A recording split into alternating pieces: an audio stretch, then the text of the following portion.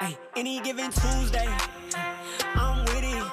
I been locked in, no kidding on a new way.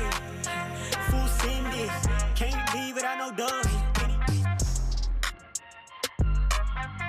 To BYU Sports Nation. We are live in Studio B alongside Jarom Jordan. I'm Spencer Linton. So much for, you know, slowly easing into things with BYU women's basketball for Kailey Woolston. Now, you're just going to be a starter from day one. baby. Injuries require you, and you've been awesome. Your skill set's so good, you will start.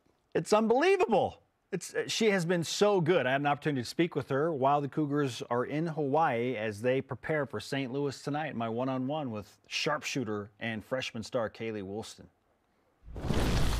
Kailey, what's the best part about playing in a multi-team event on the North Shore of Hawaii? Oh man, the weather. It's awesome. Being able to get away from Utah and just enjoy the weather for a little while is amazing. I love it.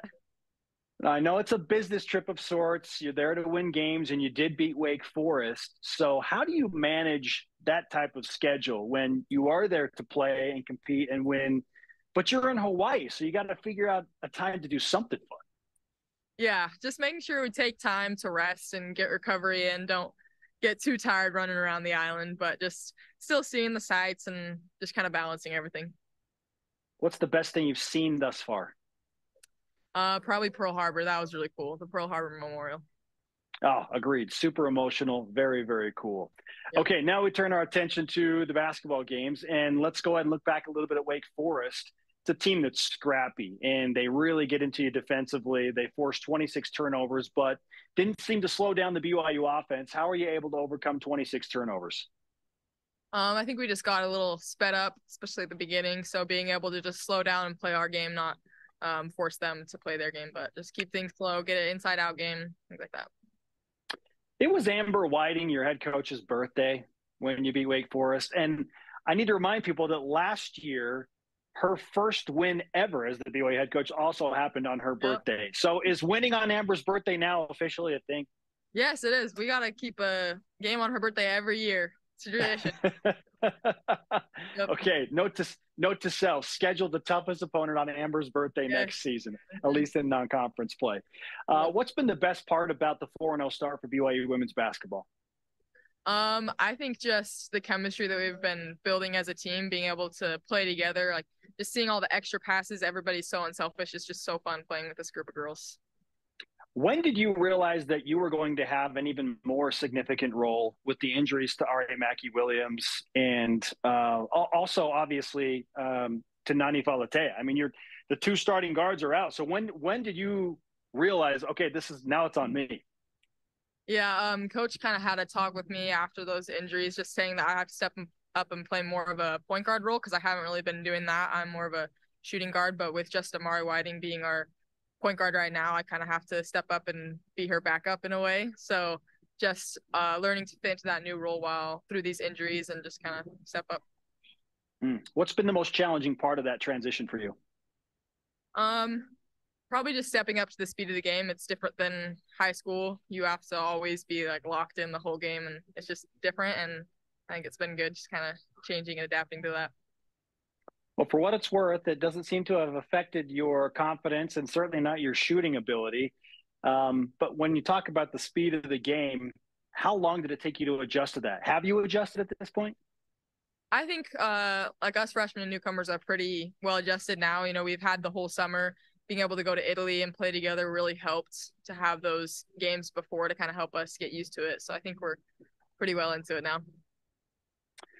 So as you push forward and you look at you know a matchup with St. Louis tomorrow, and and you're trying to get ready for a team that is speaking of speed, I mean they run up and down. Mhm. What do you have you what have you noticed most about the Billikens, and maybe what's the number one concern with them? Um, they're a really athletic team, so being able to stay in front one on one and just lock in on defense, I think, is a going to be a huge thing for us. Being able to keep people in front of us. For sure. Guard your yard, as Mark Pope would say. And I don't know what Amber's terminology is, but we'll get that from her later.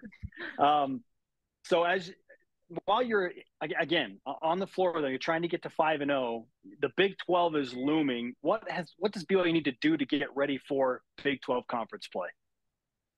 I think just getting more reps together, uh, get more confidence together as a group since we're so young and new together, being able to figure out our roles. I think we're still kind of figuring that out. Um, just be able to be on the court more. Awesome. Kailey Woolston is with us on BYU Sports Nation. You mentioned Amari Whiting. Both of you are true freshmen on the floor together. How would you explain your relationship with her on and off the floor? It's awesome. I mean, we're we live in the same apartment together. We spend so much time together. I think that's really important to be able to get that chemistry now because we'll be here together for four years. So being able to be good friends on and off the court is super important. And then how has that relationship off the floor impacted what you're doing on the floor with her? It helps a ton being able to have that relationship just kind of helps us mesh better on the floor, helps us like we're really good about picking each other up when we make mistakes and not getting down on each other. And I think that'll be important because obviously as freshmen we're going to make mistakes and just being able to lift each other up in times like that is important.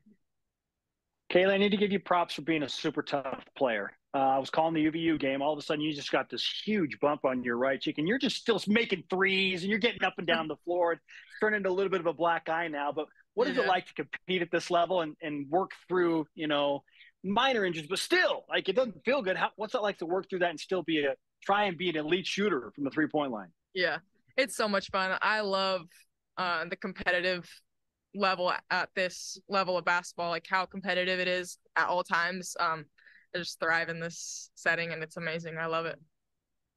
A lot of people ask me, "What's Amber Whiting like off the like out of the limelight because we see her on TV. She's very fire. What what's Coach Whiting like when the lights are not on, the TV cameras are not on? Yeah, I love Amber. She's awesome. She's like super personable. Like she's not one of those head coaches that's super aloof. Like she'll get like t- tries to have a relationship with each individual player, and will spend make sure she spends time with each of us to get to know us. She likes to know what we're struggling with, how she can personally help us, and I love that about her. Okay, we'll finish with this. What's the best part about playing basketball with Lauren Gustin? Oh my gosh. She's awesome. I'll try and go get a rebound. I'm like, nope, she's got it. She's just a monster inside. It's insane. You you always know you can get inside to her. You always know she's gonna grab those rebounds. Like I've never played with anybody like her, and it's it's amazing to watch.